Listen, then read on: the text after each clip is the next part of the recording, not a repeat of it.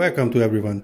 Today we are going to show you how the farmers market look like in San Fernando in Gran Canaria.